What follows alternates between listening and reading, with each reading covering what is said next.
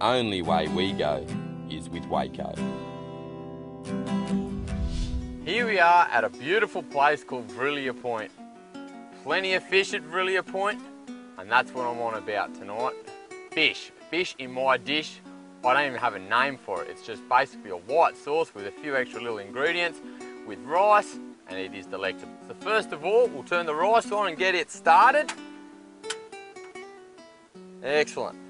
Now we'll concentrate on a white sauce. Now white sauce is basically made up of three ingredients. Simple, it's butter, it's flour, we you should probably use plain flour, but we've only got self-raising, and milk. And then we're gonna add our lovely secret ingredients, plus some beautiful fish that we've caught over the last couple of days, and hopefully sit down and watch this sunset. And basically you wanna stir this so it just thickens up to almost like a, a really thick paste.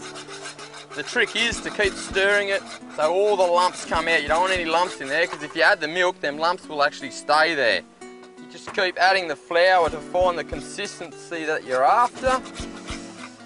Look at that, you can see that thickening up now to a paste. That'll be ready to put back on the heat and add some milk.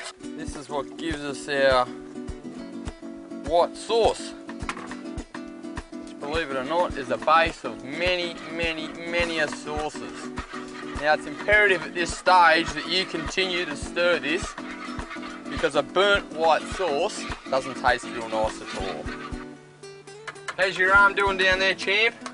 Oh yeah, it's all right, mate. As long as you cook up a nice, a nice seafood dish for me. All right, buddy. I'm, I'm taking care of that. all right. I'll just relax. Think about all the big fish we're going to catch tomorrow. Alright. If my arm's up to it. Now the rice has started boiling, so we've got to turn that down so it simmers because we're just steaming the rice. And look at this. Here's a bloke doing his best at doing two things at once.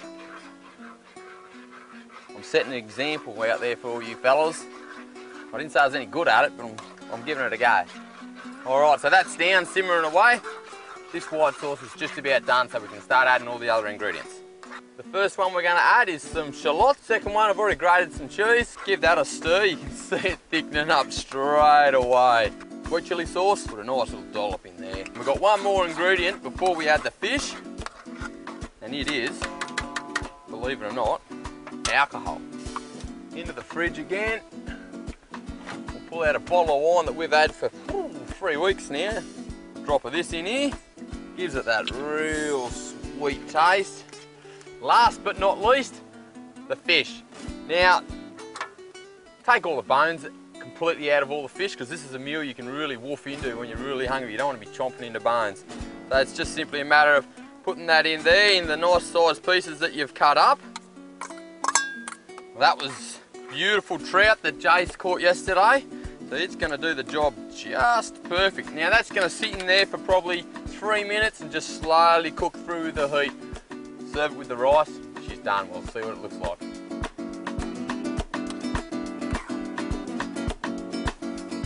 How's my dinner going, Rod? And you're nearly ready, mate. Nearly ready there. In fact, it is ready. That rice is cooked.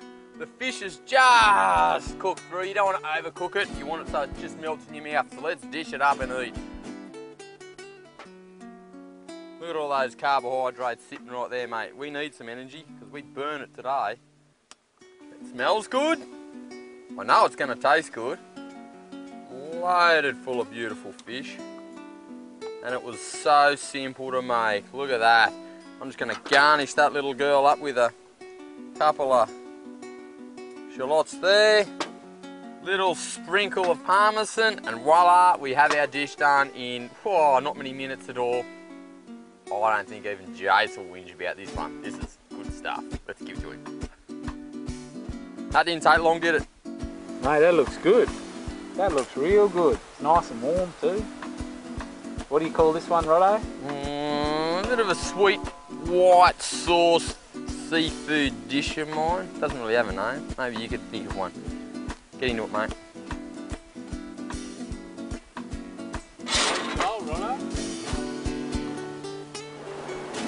Is there any of that wine left, mate? What? What wine? You No, you had some wine. You didn't put all the wine. Oh no, it dropped, eh? Off, off, off the table.